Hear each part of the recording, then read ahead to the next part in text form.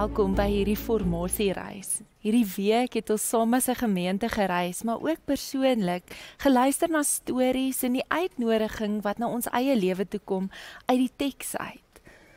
Ons skrifgedeelte is Handelinge 6 en jy is so welkom om saam met my dit te lees soos dit op die skerm verskyn.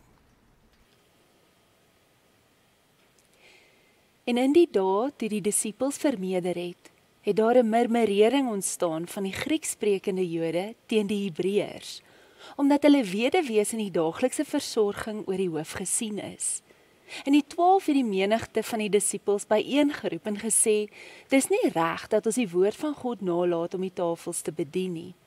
Kyk dan uit, broeders, na sewe manne uit julle van goeie getuienis, vol van die Heilige Gees en wysheid, wat ons oor hierdie nodige saak kan aanstel." Maar ons sal volhard in die gebed en die bediening van die woord. En die woord het byval gevind by die hele menigte. En hulle het gekies Stefanus, 'n man vol van geloof en van die Heilige Gees, en Filippus en Prochorus en Nikanor en Timon en Parmenas en Nikolaus, 'n Jode genoot uit Antiochië wat hulle voor die apostels gestel het. En hulle het gebid en hulle die hande opgelê. In hierdie skrifgedeelte lees ons dat die kerkleiers gekies het vir 'n baie spesifieke taak. Maar hulle het hulle nie net gekies nie, hulle het hulle die hande opgelê. Nou hande oplegging was gewoonlik gedoen wanneer iemand of siek is en hy gebed nodig het vir genesing of wanneer iemand se roeping, hulle werk, hulle taak vir die Here bevestig word. En in sekere tradis, tradisies is handoplegging tot vandag gesien as 'n sakrament of as 'n genademiddel. Dit was so groot dat Paulus vir die jong Timoteus gesê het dat deur handoplegging die vlam wat in hom aangesteek is rondom sy gawes aangehit sal word. So as jy vir die Here wil werk en jou gawe wil gebruik, dan is dit 'n groot oorgang in jou lewe om die roepstem van die Here te hoor en 'n kanaal te word en daai pad te begin stap. Vra dat daar 'n dat daar 'n afsondering sal kom. 'n Eenkant kom sal kom, 'n ritueel of 'n seremonie van handlegging sal kom. So tyd gelede het ons vir Anshin beroep by Mosaïek. Baie spesifieke take is vir haar gegee en die hande is vir haar opgelê. En aansien jy het al jou hele lewe lank 'n bewustheid van hierdie vlam wat in jou in jou brand vir die Here en vir sy werk. En dalk net vandag wil jy nie iets deel van wat het wat wat het gebeur in jou binnewêreld? Wat het gebeur in jou roeping toe die hande vir jou opgelê is vir 'n spesifieke taak? Nie wat het met daai vlam in jou gebeur? Um similar soos jy nou gesê het, um ek het groot geword in die kerk, so ek is eintlik my hele lewe lank al in bediening.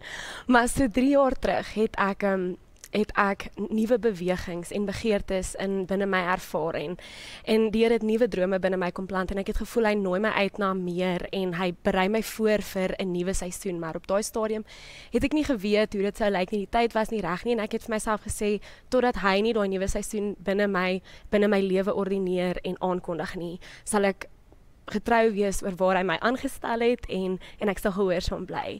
En ehm um, toe so amper so 'n jaar terug, toe kom die uitnodiging om voltyds by Mosaïek te bedien vir hierdie baie spesifieke rol wat jy nou genoem het. En dit was presies in lyn met die begeertes en die bewegings wat ek ervaar het wat die Here binne my geplaas het. En aanvanklik was dit 'n scary gedagte, ehm um, want dit sou dit sou verg dat ek buite my gemaksone sou moes tree en dit was onbekend en dit was nuut en ek het nog altyd die die die gewig van die verantwoordelikheid van wat dit is om die Here se werk te doen en om dit goed te doen.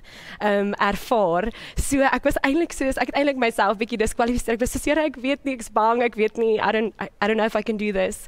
Ehm um, maar die Heilige Gees het my so kom herinner dat ehm um, that the Lord call, that he doesn't call the qualified.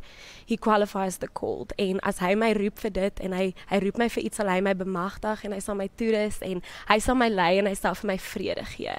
En ek dink deel van 'n nuwe seisoen is dat jy die ou seisoen agter agterlaat. Dit is deel van die oorgang en ons jy maak jouself los en vir dit wat jy ja sê sê jy weer vir ander dinge nee. Ehm um, maar wat ook gebeur is ehm um, wat ek ervaar het is my identiteit het geskuif. Ehm um, ek vind nog steeds wie ek is binne hierdie rol en ek ontdek nuwe gawes en ek leer so baie van myself ken en ek ek raak bewus van dinge binne my wat ek nie geweet het bestaan nie. En ek dink dis alles deel van die proses um, om regtig te word wie die Here my gemaak het om te wees. En dit is 'n vlam wat baie diep binne my brand my hele lewe lank al is om regtig net in volle myself te wees en te word en regtig te leef binne sy wil vir my lewe. En um, ja, hy het al van kleins af 'n diep passie in my instel vir aanbidding en om saam met sy mense om te aanbid in gees en waarheid soos wat Jesus gesê het. Um, en ook om mense te inspireer en um, aan te moedig om om ook hulle self ten volle te word en hulle eie gawes te ontdek. Ons elkeen het gawes ontvang en um, daar's 'n 'n gift wat net jy vir hom kan gee en 'n gift wat net ek vir hom kan gee en um, ons kan kies om dit nie te doen nie. Ons kan sê nee, ek's nie reg nie of en hy het ons nie nodig nie. Ehm um, sy werk sal aangaan, you know. Maar ek dink is net daai die feit dat hy my nie nodig het nie, maar hy roep my. Hy wil my uit my gekies in my gebrokenheid en al voel dit dit wat ek kan gee so insignificant roep hy my so wie is ek dan om nee te sê you know en um, ek het amper nee gesê toe ek toe ek daai tyd um, aanvanklik mis intree in bediening het ek myself voorberei om te sê nee ek gaan hierdie doen nie en hoorie ek het al weggestap en Ja, yes, ek het net gevoel die Here het my so oortuig. Ek het gevoel die Here roep my en hy vra nou dat ek ja sal sê. En wie is ek dan om te sê nee? Daar daar was geen verskoning wat ek aan kon dink. Nie eens of ek voel ek's goed genoeg of twyfel of onsekerheid of Here ek weet nie wat voor lê nie.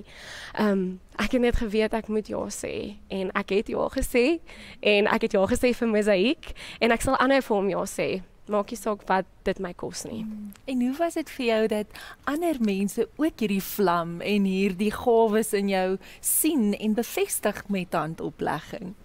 Ehm um, Ja, ek dink dit is dit dit dit gaan net oor confirmation en 'n um, ehm, partykeer sien jy nie jouself dinge in jou raak nie en dis hoe die Here mense gebruik om vir jou te sê hoorie ek sien hierdie in jou raak. Hoorie jy sal so goed wees daarin of wat ook al en partykeer het mense net daai confirmation nodig en partykeer vertrou mense ook die Here vir daai confirmation en die Here gebruik dan weer ander mense wat in hulle gawes funksioneer om vir jou te sê, hoorie, die Here roep jou. ja. So, ehm um, so dit dit bring net weer daai vrede van ek is waar ek moet wees en ek doen wat ek moet doen volgens dit waarvoor die Here my geroep het, mm. you know. Ek dink ook altyd aan Stefanus of toe hy hulle het hom eers aangestel om daai mm. tafels en hierdie yes. krisis wat hy is te bestuur, maar iemand moes gesien het dat daar meer is, dat daar yes. potensiaal is, dat daai vlam daar is exactly. en die handoplegging later word hy een van die grootste leiers in die kerk. It's amazing. Nee, dis wonderlik. Ja. En ehm um, mm. Jy aansien iemand het eendag gesê if your heart is set on fire, mm. you can set this world ablaze. Mm. En om dit te beleef in jou lewe, om dit ja. raak te sien en uh, die roeping wat jy het en die gawes wat jy deel in hierdie geloofsgemeenskap, die Here seën jou. Dis 'n voorreg. Dankie Melis. Die Here het ook in jou 'n vlam geplaas. En die ou woestynvaders het gesê dat daar 'n vuur in ons is en soms moet ons die deurtjie van ons hart en ons siel bietjie wyer oopmaak sodat daar nuwe lewe, nuwe asem kan kom om my vlam aan te hits. Soms is dit tyd om daardie deurtjie bietjie toe te maak, dat daar 'n intimiteit en 'n beskerming en 'n veiligheid is tussen jou en die vuur en die vuurmaker wat God is. Hoe gaan dit met die vlam van jou siel? Hoe gaan dit met die passies en die gawes en die roeping van die Here in jou lewe? Het daardie vlam weer 'n aanhits nodig?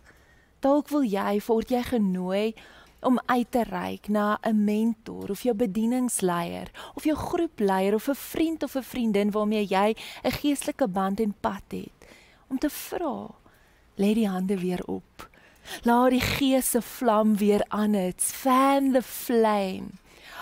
Want as harte brand, kan hierdie wêreld 'n ander plek wees. En dis ons gebed vir elke persoon in ons gemeente dat ons iets van dit kan proe en ervaar. Dis die Here se werk in ons, deur ons en in ons midde. En Here, dis die begeerte van ons hart. Ons vertrou U daarvoor. Praat met ons.